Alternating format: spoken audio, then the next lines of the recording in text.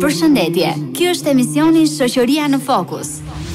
Natyrshëm një çift bëhet nënë dhe baba me lindjen e një fëmije, por ata zgjedhin të bëhen prindër duke investuar mirë në rritjen dhe edukimin e këtij fëmije me pasurinë, energjinë dhe kohën e tyre. Pra prindërimi është sfidë dhe edukimi është lëvizje nga errësira në dritë e dijeve të fëmijëve tanë. Për të qenë fëmijët tanë të suksesshëm duhet t'i modelojmë me sjelljet tona dhe vetëm atëherë do të arrijnë suksesin. Përmbledhtas, mungesa e lëvizjes pra e aktivitetit fizik si dhe çrregullimi i shijes që sjell çrregullim në ushqyerje janë shkaqet kryesore të dëmeve në shëndet dhe në inteligjencën e fëmijëve të sotëm. Çdo të hënë, të mërkurë dhe të premte, shoqëria në fokus, vetëm në Radio një. Përshëndetje miq të dashur, jemi këtu në valët e Radio një 93.2 MHz, siç e dini miq të dashur, çdo ditë të premte ne jemi me Estelën, por sot është në fakt edhe një ditë e veçantë. Është dita e festës së Bajramit dhe ne duam t'jua urojmë këtë festë kudo që ndodheni pranë familjeve tuaja apo në udhëtim apo pranë të afërmve tuaj që ndodhen larg vendbanimeve tuaja, uroj të kaloni sa më mirë me një vëllazëri, me një bashkim dhe të keni dalë nga ky muaj të shpërblyer dhe të falur. Përshëndetje Estela e dashur. Përshëndetje Antela. Kemi zgjedhur një ditë veçantë fakt për bër emisionin, por kemi zgjedhur miq edhe një temë të veçantë. Ne do të merremi sot pikërisht me sëmundjet e verës, sepse janë sëmundje të cilat ne na bezdisin gjatë këtyre muajve që po na paraprijnë përpara. Kështu që edhe ne do përgat, do të bëjmë gati miqtë tanë për këtë për këtë sezon që po vjen. Pikërisht, pra, shumë mendojnë se me ikjen e dimrit dhe me ngrohjen e motit i kemi larë duart nga sëmundjet. E po na vjen keq t'ju themi që që në fakt gabohemi dhe e kundërta është Është e vërtetë, sepse shpesh dimri shihet si sezoni i gripit, pranvera sezoni i alergjive, vjeshta i bajameve dhe dhe i parazitëve duke qenë se fillojnë shkollat, ndërsa për verën shpesh e mendojmë se sëmundjet marrin valixhen dhe nisen për pushime. Ashtu siç jemi përgatitur. Ashtu kemi qejf ne. Do ishte mirë faktikisht shumë ditë do ishte kështu, po le të pushojnë ca se nuk bëhet nami. Ashtu, ashtu dëshironi, do ishte bukur, por në fakt temperaturat e larta dhe moti me lagështi e bëjnë një ambient të favorshëm për rritjen e baktereve dhe fakti që shumica e njerëzve zgjidhin pushimet pranë pranë vendeve me ujë, qoftë liqene, lumenj, dete, pishina, e bëjnë shumë më të shumë më të lehtë aksesin që kanë patogjenë të ndryshëm ndaj ndaj njerëzve.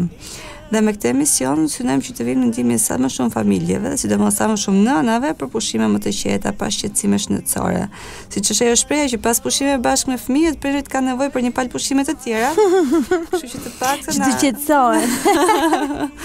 jo, po sigurisht tani se ne kur shkojmë në det, nuk është se nuk duam të dalim nga deti, thjesht ruajmë fëmijët, prandaj.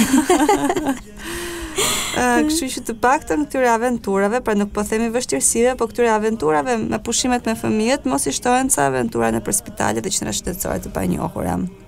E në fakt, që, që me këto ditët e ngrohta në, në, në zyrat e pediatrisë ka pasur vërshime ndaj viroz, me, me virozën tipike të verës. Viroza e verës është një sëmundje me temperaturë të lartë dhe me dhimbje trupi dhe asnjë gjë tjetër. Uh, prindërit, kur një fëmi ka rrufë, ka kollë, deri diku e presin që t'i hipi dhe temperatura.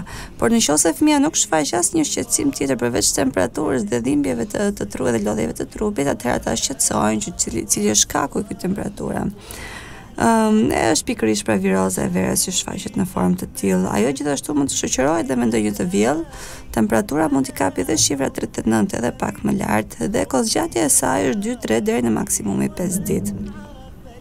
sado i grindur, i lodhur, uh, i parehatshëm të duket fëmija në momentin kur ai është me temperaturë, në qoftë se ai qetësohet dhe është aktiv dhe luan gjatë kohës që është nën efektin e antipiretikëve, ibuprofen, paracetamol, atëherë nuk ka asnjë gjë për t'u shqetësuar dhe nuk ka arsye për të vajtur tek për të bërë një vizitë në qoftë se ne jemi në qoftë se jemi me pushime, pra nuk kemi pse shpenzojmë tepër për një vizitë në në një rast të tillë. Um, sigurisht duke qenë se është virozë, nuk ka nevojë për trajtim me antibiotik. Trajtimet e vetme janë ato të, të qetësimit të simptomave, siç janë antipiretikët, pra që ulin temperaturën, paracetamol ibuprofeni. Dhe gjithashtu në qoftë se kemi të vjella, mund të bëjmë trajtim me rehidrim oral, pra me me me tresol. Siç e përmendëm vizita nuk është e domosdoshme tek mjeku, por në raste të veçanta dhe shumë të rralla, ka dhe baballarë që thonë është e domosdoshme t'i bësh një vizitën gruas time pastaj fëmijës se ka nëna që janë më të fiksuar. Jo, faktikisht ka baballarë që janë më të fiksuar se sa nënat që nënat thonë që hë mo s'ka gjë, se unë e di shumë mirë që nuk është ndonjë gjë. për t'u shqetësuar baballarët. Jo, çoje fëmijën te doktoresha me. Ku janë këta baballarë? Ka, ka. ka. Përgjithësisht unë nuk e di nga marrëdhëniet e mia shoqërore, kam vënë re që nënat janë një çik më më meraklie, sepse atyre u duhet të rrinë natën, pa gjumë, atyre u duhet të, të dëgjojnë rënkimet e fëmijëve, kështu normalisht ato shqetësohen. Jo, nënat se e shikojnë gjendjen. Ka nëna që janë janë kalitur le të themi dhe janë një goxha jo, të stërvitur okay, atë. Jo, ne jemi stërvitur, jemi vaksinuar psikologjikisht që Nëse ka këto shenja nuk është serioze dhe e kuptojmë gjendjen, kjo është ideja. Jo që si kemi merak më shumë. Jo, jo, jo, normalisht. Shikojmë tek tek gjëra shohim me të tëra ngjyrat. Pra shohim vetëm atë skajshme të meraklie, shkojmë shohim edhe pa ballar. Domethënë janë janë gjë e mirë që ne duhet të jemi të kujdesshëm për fëmijët. Është gjë e mirë, ama mos ta teprojmë siç po thoje dhe ti, Besoj se do të jemi bashkëpunues me njëri tjetrin. Domethënë kjo është më e rëndësishmja. Kur një fëmijë është i sëmurë, ndonjëherë edhe familja bëhet cop cop nga nga ankthi dhe dhe shqetësimi që dhe lodhja që kanë prindërit. Dhe besoj se ajo që është më e rëndësishme që do të ndihmonte edhe vetë fëmijën është që që familja të jetë bashkëpunues, pra çifti të jetë bashkëpunues me njëri tjetrin dhe jo të kërkojnë fajin ose të kërkojnë që un po bëj më shumë, un po lodhem më shumë e gjëra të tilla. Kur duhet të shqetësohemi dhe të nxitojmë për për tek urgjenca, madje as as tek vizita tek një qendër shëndetësore. Ka raste të rralla që që ky infeksion viral nga fyti mund të kalojë dhe të prekë cipat e trurit, pra të japë një meningit viral. Dhe shenja dalluese kryesore është rigiditeti i qafës, pra qafa e ngrirë, sepse fëmija përjeton një dhimbje shumë të fortë tek pjesa e, e prapme e qafës, aq sa jo vetëm që nuk arrin të uli kokën poshtë, por as syt nuk arrin t'i uli poshtë. Dhe kjo është një shenjë alarmante që neve duhet të nxitojmë për në urgjencë. Pra nuk kemi pse lëmë një takim me mjekun ose të vizitojmë qendrën shëndetësore, por nxitojmë për në urgjencë. Por kaq të raste janë mjaft të rralla. Mënyra se si përhapet ky virusi i verës është është fekalorale. Pra nuk është me ajrin siç është siç ndodh rëndom me viruset e e dimrit dhe të vjeshtës, por është nga goja. Pra e marrim nga uji i detit, nga uji i pishinave, nga një sipërfaqe e kontaminuar kur neve ham pa ngrën, pa pa lar duart, pra ushqehemi pa lar duart.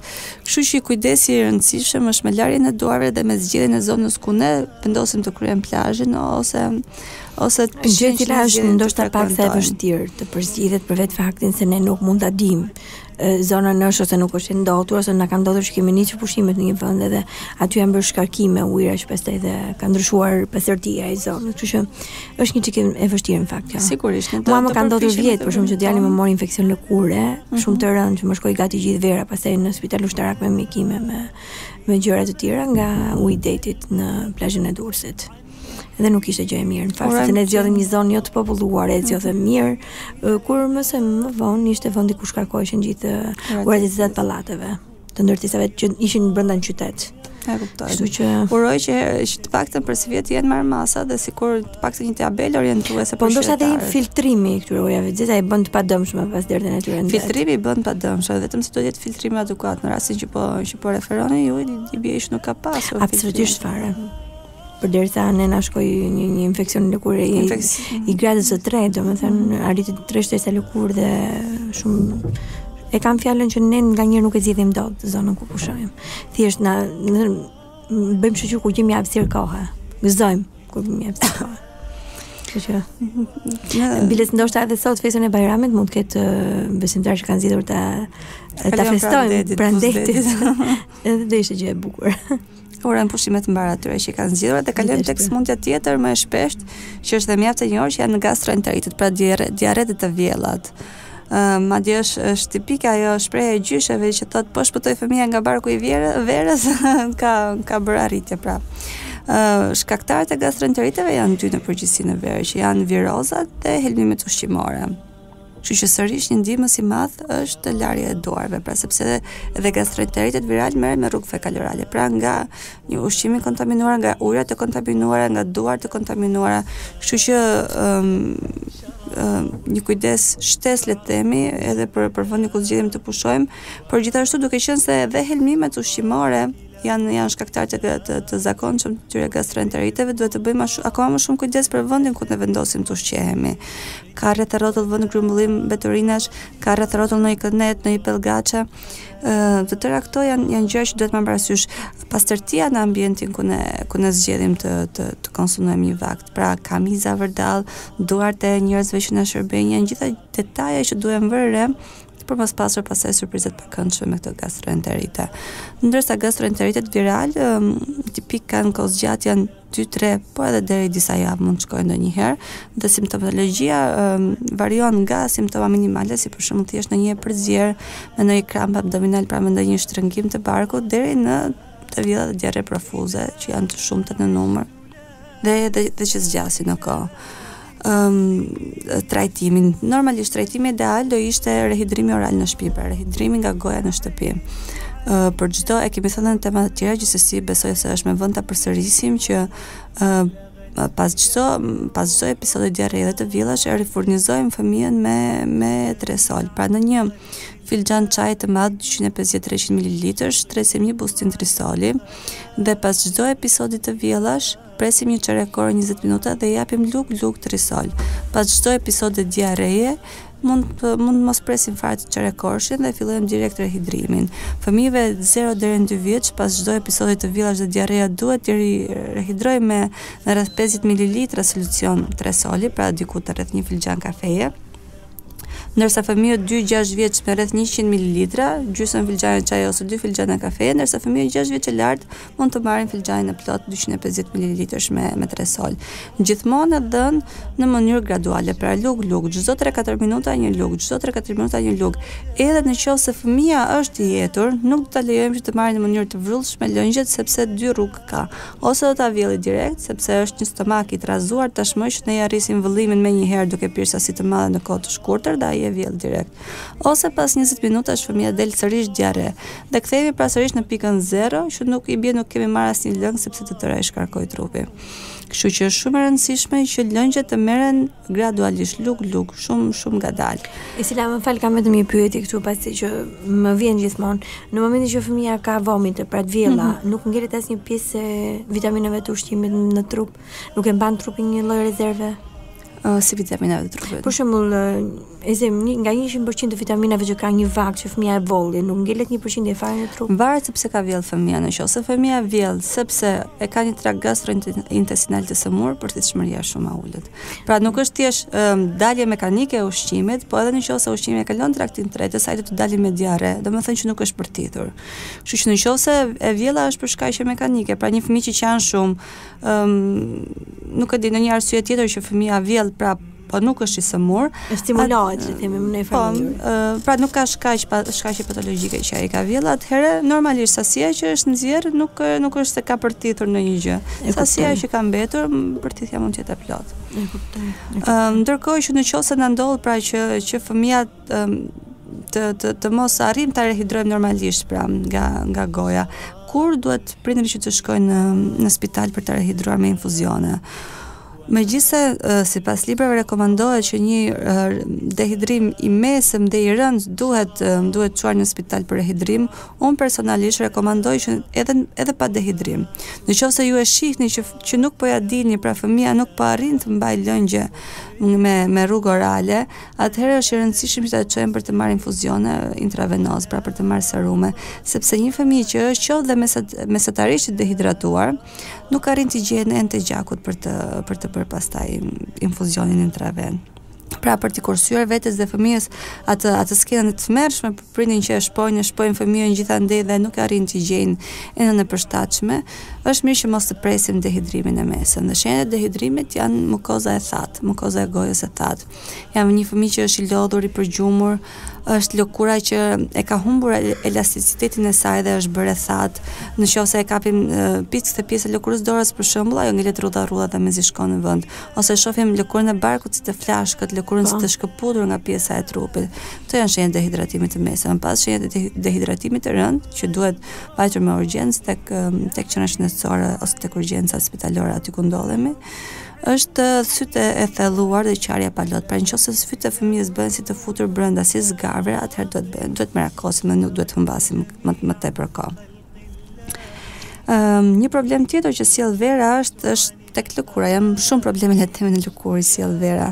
Në temë vera mund të konsiderohet si makthi i lëkurës, nëse do merrni një organ që është më i prekur nga nga kjo stinë. Pikërisht. Ë pikërisht për miksimin e diellit, djersës, kremrave, pishinave, plazheve, Dhe që minimalja që i ndodh lëkurës gjatë verës, lëkurës të fëmijëve gjatë verës është është dermatiti nga nga të nxehtët, që janë pikërisht ato vaporet e famshme. Puçrat e vogla ngjyrë rozë në në lëkurë që zakonisht nuk kruhen, por edhe mund të jenë të bezdisshme duke duke dhënë ndjenjën e kruarjes. Ato janë le të themi të evitueshme duke mbajtur një higjienë të mirë. Pra një dush darkë për darkë fëmija nuk e ka, nuk e ka shumë, e ka të nevojshëm. um, është mirë që të zgjedhim uh, preparate kozmetike larëse si për shembull um, shampo ose sapunë që shplahen lehtë, sepse ato që nuk shplahen lehtësisht i lënë poret të mbyllura, kështu që predispozita për të djersitur, për të bërë ai miksi djers, këto ky ky solucion shplarës është më i madh dhe për të dhënë dermatitin pastaj është më i madh. Do na ndihmonte në raste që, që, që ky dermatit është, le të themi pak si i agravuar edhe shplarja me kamomil do ishte pas dushit edhe një shplarje me kamomil do ishte, do ishte ndihmëse. Më pas kemi edhe shumë fenomene alergjike që pëson lëkura gjatë stinës të verës. Ëm dhe ato shfaqen kryesisht në dy forma, në formën e pullave me reliev, pra pulla të ngritura mbi sipërfaqen e lëkurës që kanë ngjyrën rozë ose të kuqe dhe që kruhen shumë. Ato nisin me një ose dy zona të caktuara dhe më pas përhapen në ditët në vijim, pothuajse në të gjithë trupin dhe shkaktari mund të jetë ndonjë pickim, ndonjë bimë ose barishte, ndonjë agjent kimik, dhe dhe trajtimi është në përgjithësi me pomada me kortizon me 1% kortizon dhe me antihistaminik që merren nga goja antihistaminikët janë pikërisht ato medikamente që i marrim për kollën ngacmuese pra pra të kollën e thatë që nuk i lë fëmijët të qetë ato merren edhe në këtë rast sepse qetësojnë dhe të kruarat Ëm um, dhe sigurisht thonjtë të shkurtër. Në shumicën e rasteve në fakt kjo kollë që edhe pse duket si bronkit ose ftohje është më shumë formë alergjike. Formë alergjike dhe zakonisht janë të mirë njohur prindërit me këto preparate antihistaminike për këtë kollë ngacmuese. E njëjta gjë, ndalon sikletin e brendshëm që ne nuk ja përjetojmë dot fëmijës. Pikërisht ato i përdorim dhe në rastet e, e, e pickimeve dhe të kruarave.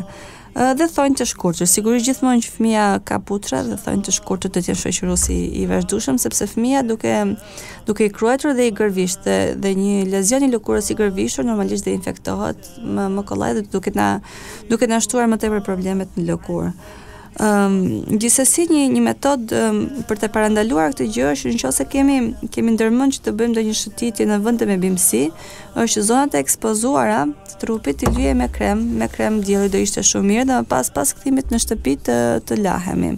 Pra kremi do do ishte një barrierë mbrojtëse jo vetëm nga dielli, por edhe ndaj këtyre alergjenëve të mundshëm që do preknin lëkurën dhe jepin të tilla shqetësime.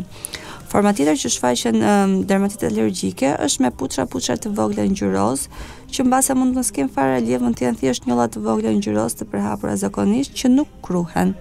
Sigurisht ka dhe përjashtime, por në këtë rast të kruarat janë minimale.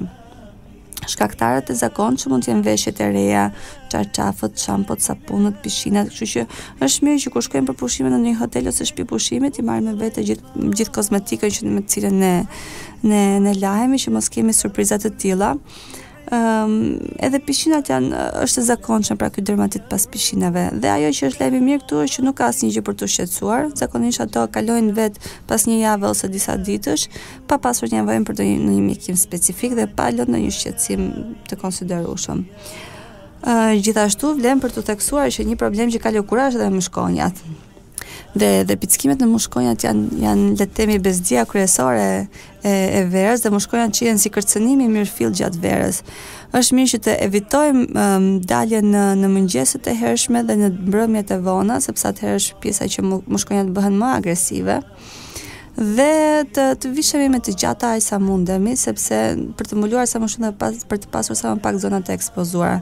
Ndërsa për invadimin e tyre në shtëpi do ishte mirë që që shtëpitë vënë të ishin të mbul, pra dritaret, ballkonet të kishin vendosur rrjeta për të penguar hyrjen e, e këtyre mysafirëve të pa, pa të paftuar le të themi. Ëm um, gjithashtu dhe një problem tjetër që has lëkura gjatë verës është le të themi makthi i të tërëve është djegia nga dielli. Djegia nga dielli është një dëmtim i, lëk, i lëkurës plotësisht i parandalueshëm, por që fatkeqësisht neglizhohet. Gjithsesi, unë dua të theksoj një fakt shumë të rëndësishëm që mbase Dhe dëgjuesit tanë do t'i bëjnë të mendojnë dy herë për masat që duhen marrë nga nga mbrojtja e djegies nga dielli, që është pikërisht që studime që tregojnë që sa më shumë um, ekspozime jo të shëndetshëm në diell gjatë fëmijërisë, aq më tepër probabilitet ka që këta të rri, këta fëmijë të, kur të rriten pastaj të bëjnë kancer lëkure. Pra djegja nga dielli nuk është diçka që kalon lehtë thjesht me kosin, me domaten, me gjëra të tjera, është diçka që lë pasoja, dhe pasoja që ndonjëherë nuk rekuperohen më dhe që në një të ardhme Fatkeqësisht pasoja mund të jenë dhe fatale me me me forma kancerogjene. Um, dielli gjithashtu siç dëmton lëkurën, dëmton shumë dhe sytë, dhe sidomos sytë e pamaturuar të, të foshnjeve. Pra njësoj siç dëmton epitelin që vesh lëkurën, dëmton dhe epitelin që, që, që, që, që formon syrin. Uh, si t'i mbrojmë fëmijët nga, nga dielli? e para orari i daljeve duhet kufizuar. Ora dhjetë dhe ora gjashtëmbëdhjetë duhet të jenë orare që fëmijët duhet të jenë në shtëpi, aq sa mundemi. Pra, për gjërat që kemi në dorë, për gjëra që nuk janë urgjenca, është mirë që këto këto orare të të evitohen. Sepse është pikërisht koha kur rrezet e diellit janë janë me intensitet më të madh. Uh, e dyta është që të veshim rroba të pambukta dhe të bardha që reflektojnë pra rrezet e diellit dhe që normalisht sa më shumë të gjata të jenë rrobat, sa më shumë të mbulojmë me rroba, aq më me veshje, aq më aq më mirë është. Ne në Shqipëri kemi atë atë mendësinë që sa më vapë është, aq më shumë zhvishemi, por në fakt duke vënë re tek vendet që klimën e nxehtë e kanë pjesë të tyre është që sa më shumë nxehtë të bëjë, sa më shumë diell i fortë të jetë, aq më shumë duhet veshur për të mbrojtur trupin. Kështu që Veshja duhet të jetë sa më e plotë, e pambuktë dhe e dëndur, ndonjëherë kur nuk na gjendet kur kemi dalë hollshëm, një napë e hedhur supeve të foshnjës do do bënte punë. Dhe gjithmonë duhet të kemi kapele me vete. Dhe do të bëjmë kujdes të zgjedhim kapele që nuk kanë strehën vetëm përpara, por që kanë strehën rreth e qark, pra që mbulon sytë, veshët edhe qafën. Ë bëjmë kujdes që fëmijët i vendosim në hije, aq sa mundemi ose në çadra. dhe do bëjmë kujdes që tek fëmijët mos të bjerë reflektimi i diellit nga uji ose nga rëra e bardhë, sepse do t'i japi shumë dëmtime tek sytë. Është mirë që të përdoret kremi i diellit me SPF mbi 30. Gjithsesi kremi i diellit duhet vën duhet duhet le të themi aplikuar me kujdes dhe pas konsultës tek pediatri tek foshnjet nën 6 muajsh, sepse ata e kanë lëkurën më të hollë dhe kremi përthithet shumë shumë më lehtë nga organizmi duke duke kaluar në qarkullimin sistemik, pra duke e marrë organizmi duke e përthithur brenda kremin. Kështu që në foshnjet nën 6 muajsh nuk rekomandohet nuk rekomandohet shumë përdorimi i kremit të diellit, thjesht mundohemi ta ta ta ruajmë me mënyrat mekanike, pra me veshjen, me hijen dhe me mosekspozimin në në oraret e pikut. Ëm ndërsa për fëmijët ndaj të cilëve neve aplikojmë kremin e diellit është duhet pasur merak shumë pjesa e hundës, e veshëve dhe e faqeve. Aplikimi i kremit të diellit duhet bërë të paktën 15-30 minuta para ekspozimit në diell dhe duhet ta riaplikuar pas 2 orësh pas larjes, pas djersitjes ose edhe pas tharjes me peshqir. Pra mos mendojmë se me tesh me një me një aplikim ne ne kemi kryer punën ose jemi të mbrojtur. Gjithashtu kujdes i veçantë duhet treguar për sytë, të cilët dëmtohen shumë rëndom nga dielli dhe um, sigurisht duhen përdorur syze, por kujdes nga syzet lodër që shiten që shiten kudo në në mënyrë ambulatore, sepse me to më shumë po bëjmë po bëjmë dëm se sa po po po ndihmojmë fëmijët. Me pra me këto syze që shiten në mënyrë ambulatore. Ëm pse këto syze nuk mbrojnë? Po, ndoshta se xhami i tyre s'është xham ose është plastik dhe sepse... lënda që përbën ato në vend që ta mbrojë nuk e le të themi nuk e pasqyron sepse ideja është që mos ta fusë brenda xhami rrezatimin por ta pasqyrojë. ta nxjerrë jashtë. Pikërisht, këto syze nuk e reflektojnë rrezet e diellit. Pra ato i pranojnë brenda, nuk kanë atë sistemin filtër. Atëherë si i vure si nuk i vure thjesht shikimi jo, është pak më i qetë. Po... në qoftë se i vure, dëmi është më i madh se në qoftë se nuk i vë. Kjo për faktin se ato bëjnë hije dhe hija e tyre bën që bebëza e syrit të zmadhohet. Dhe duke qenë se ajo zmadhohet, në në bebe, pra në sy depërtojnë shumë më tepër rreze ultravjollcë, duke qenë se ato nuk kanë as filtër, pra nuk kanë filtër, bebja zmadhohet nga hija që ato formojnë dhe shumë më tepër rreze kalojnë në sy duke u bërë më të dëmshme. Pra prindërve kujdes, kujdes nga syzet që shiten në mënyrë ambulatore. Pra ti na rekomandon vetëm nëpër optika. Vetëm nëpër nëpër optika sigurisht. Më mirë të kursejmë dhe të mbledhim pak dhe të blejmë një palë syze që janë të dobishme për fëmijën apo jo. Dhe që e kanë të shënuar pra me garanci që janë 100% mbrojtje ndaj rrezeve ultravjollcë. Ato janë idealet. Tani ka edhe prindër që thonë që fëmija im nuk i mban pse të bëj një shpenzim kaq të madh për nëse nuk i mban për diçka që nuk i mban. Të paktën të përdorim kapelet. Kapelet siç e përmendëm me strehën që përfshin sytë, veshët edhe qafën, pra me strehë rrumbullake, jo me me me strehë thjesht tek pjesa e syve, kapelen, kapelen dhe dhe hijet gjithashtu bashkë me kapelen. Por absolutisht jo syze lodër. Hijet i kërkojmë vetë, nuk ka nevojë. Mundësisht hap dhe vrap deri ke hija e radhës.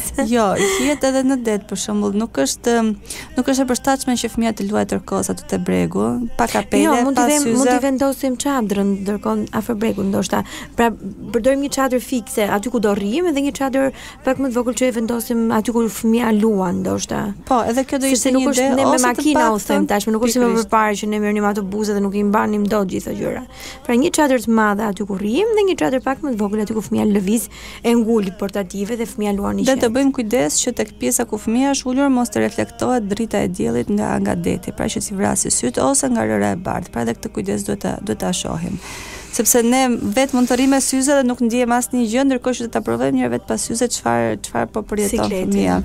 Dhe është mirë që ata fëmijë që luajnë te bregu i detit vetëm me me, me rrobat e plazhit, pra që janë vetëm mbathje zakonisht, pa kapele, pa syze, pa asnjë gjë, është mirë që të paktën t'i veshim, t'i hedhim një peshqir krahëve, t'i veshim një bluzë pa të pambuktë sipër, Dhe sidomos kapelen në kokë, pra mos t'i neglizhojmë sepse dëmtimet më më vonë mund të jenë fatale. Estela, faleminderit. I bëre një përzgjedhje, një përshfaqje kaq të gjerë, më duket nganjëherë ca gjëra jo se janë të pamundur, por pak të vështira, për shembull, kur themi rrezatimi nga dielli dhe rrezatimi nga rëra, nuk e ruajmë dot gjatë gjithë kohës, ndoshta por duke qenë koshient për këto rreziqe dhe duke i bërë ndoshta edhe fëmijët koshient për këto rreziqe.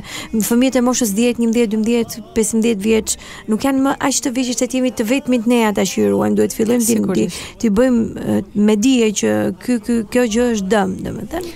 Do sigurisht do, do, do t'i edukojmë së pari duke duke prirë me shembull. Unë në fakt me me anë të këtij emisioni bëj thirrje dhe autoriteteve, ndoshta edhe të bregdetit që të jenë Të paktën të kujdesemi për këto tabelat e derdhjes të vendeve ku ka derdhje të ujërave të zeza, sepse unë vjet e, e, jo vetëm kosto ekonomike që ka qenë e jashtëzakonshme, sepse ilaçet e lëkurës e, ti e di se janë goxha kostoze, por ishte dëmi psikologjik e edhe d- le të themi dëmi fizik. E, Na u desh, domethënë, ne të tëra pa gjumë, në gjithë atë djersë, vapë, e, vere dhe ishte një një stres shumë i madh që mund ta kishim evituar po ta dinim e, se ne u gëzuam që gjetëm një zonë të qetë që kishte shumë pak banorë dhe po laheshim të qetë pa na në kuptimin që uh, nuk kishte zhurma akustike, nuk kishte shumë njerëz. Nuk ishte një pjesë të privatim të ndër. Pra, nga ana tjetër ajo ndoshta pikërisht kjo ka qenë arsye që s'kishte njerëz. pra, aty ku gjeni plazhe të papopulluara, shikoni a ka kanale. Shihni dy herë. Gjithsesi unë do këshilloja që edhe çarçafët në qoftë se shkojmë në hotel, brenda vendit të merreshin me vete, pasi në klinikë kemi pasur raste familjesh me me me me zgjebe pra me skabjes pikërisht nga nga çarçafët e hoteleve. Kështu që një um, kemi pasur një emision në vitin që kaloi për çantën e pushimeve dhe ndoshta do ta ribëjmë edhe një herë për të rikujtuar. Edhe mund ta ribëjmë me ato shtesa që ti i ke menduar sigurisht. Edhe mund ta bëjmë dhe një një dëgjues i radios tonë kishte thënë tim shoqi që shiko se ajo ajo gruaja jote s'kishte lënë gjë pa përmendur gjithë shpinën duhet ta kishim marrë me vete. Gjithsesi janë gjëra që që le të themi mbase nuk shpëtojnë jetë, po janë gjëra që të lehtësojnë jetën goxha. Kështu që gratë e dinë shumë mirë se sa shumë gjëra duhet marrë me vete për ta pasur pushimet sa më të qeta dhe me sa më pak pasoja. Kështu që edhe nëse vendosim disa çarpal çarçafë me vete që t'i kemi për të qenë për të qenë sigurt do ishte ide e mirë. Të falenderoj shumë Estela për këtë përshfaqje që na bëre të këtij emisioni. Uroj që të kemi ardhur në ndihmë sadopak dëgjuesve tanë. Dëgjues të dashur, kalofshi sa më bukur këtë festë. Uroj të kemi ardhur në ndihmë me këto këshilla dhe t'i zbatoni ato.